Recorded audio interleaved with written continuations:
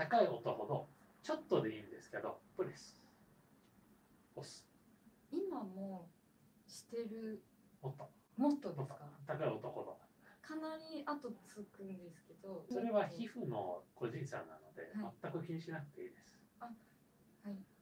ちょっと触っただけで跡がつく人もいれば思いっきり押してるけど跡が残んない人もいるのでうん。跡がつくことをもって正解不正解の判断は基本的にはできない。あ。心配するようなので高い音ほど息とプレスいきましょう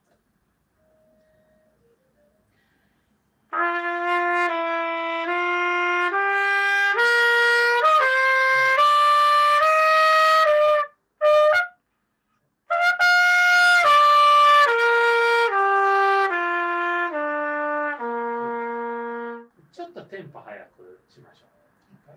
せーの。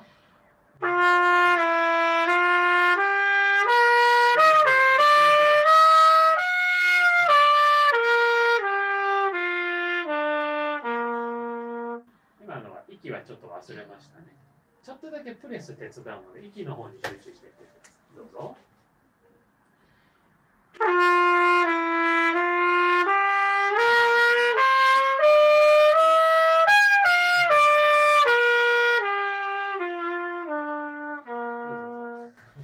はいって明日まで行きましたね。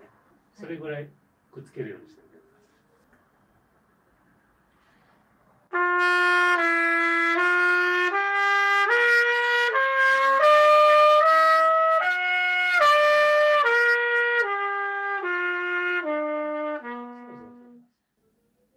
によって具体的な動きは違うんですけど高い音ほど左下にマウスピースを動かしてください。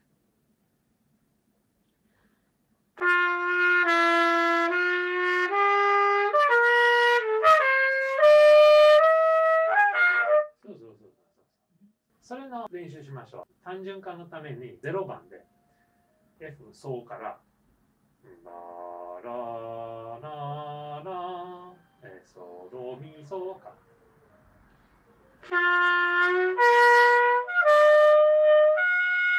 そうそうそうそう。動かさずにやってください。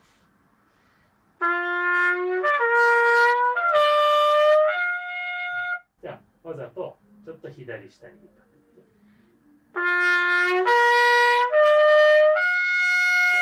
当たりやすいでしょ。はいじゃあ上の層からソミドソ右上に戻していきます。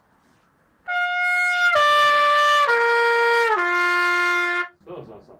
じゃあソミドソドまで降りてみましょ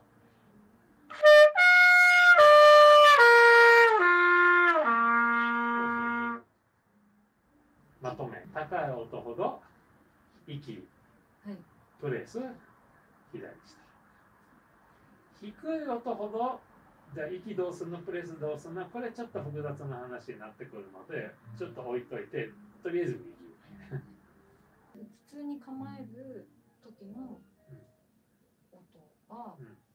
どこどの音が基準高さによってあ微妙に違うんです当てる位置が。はいこれ誰でもそうなんです。英子さんの場合は今日は F から吹き始めてることが多いんですけどもうちょっと左下にしとくといいでしょうね。そもそも F を吹く時のスタート。をがちょっともうちょっとだけこっちより。チューニングベそれを吹くときに少しチューニングベイがちょっとね下の方にいるんですよ、なのでチューニングベイはこうだと思ってる吹き方より少し高い音寄りの吹き方をする。高い音寄りの吹き方ほど3つありましてね何でしたっけ？息を。プレスを。して位置が。それを全部ちょっと想定値を増してチューニングで。そうそう。それがポンって。楽器が抵抗なくこう。うん。それだったらチューニングベイはチューニングベイでもいろんなやつがいると。はい今のツボっていうんです。今なんかあってなりました。でもその手前ですでにツボより下にいるっていうのはご存知だったようなのでちょっと低いよっていう。あ音程が。音程が、はい。そう。えっ、とじゃあもうちょっと高いところ狙いましょう。具体的にじゃあ高いところにどうやって行くのっていうのが今日出てきた話ですね。行きプレス移動って、うん。行き過ぎたらそのメモリを下げたらいいし足りてないようだったら上げたらいいしうん。行き過ぎか足りてないか分かんない時はじゃあ試しに上げてみようどうなるかな？試しにメモリを下げてみようどうなるかな？ちょっと昆布入れたらどんなお出汁になるだろう？隠し味にかぼす入れたらどうなるだろう？みたいなお料理と似てるかもしれないですね。じゃあそれらを使って、えーと F まで上がるパターンちょっとテンポ早めにいきましょう。出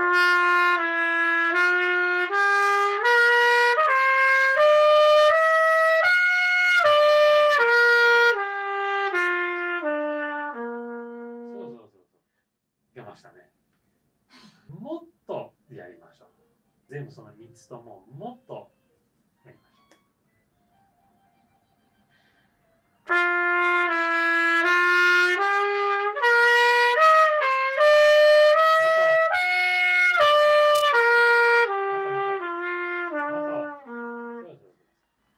途中やりすぎることに成功しました。正か正に行った時に S が出た。そこでトーンを落としちゃったんですね。そのままやってたら何段か飛ばしたところができてたかもしれない。あうんかなり下目に思いますけど、まだもっと下でもっもいいと下でも大丈特にチューニングベイあたりでベイと F の間にちょっとこう段差があるんだと思いますこう歯とか唇のね。はい。だからベイに行く時にしっかり下に持ってくるっていうことをちょっと意識して練習すると。